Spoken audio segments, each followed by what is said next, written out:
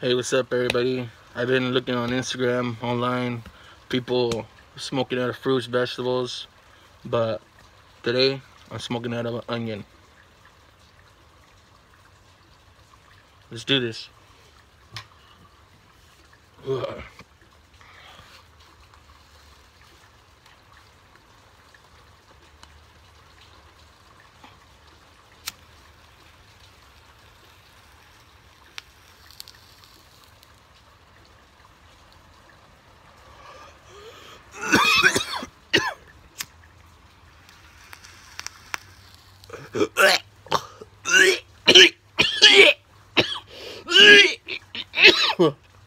Ugh.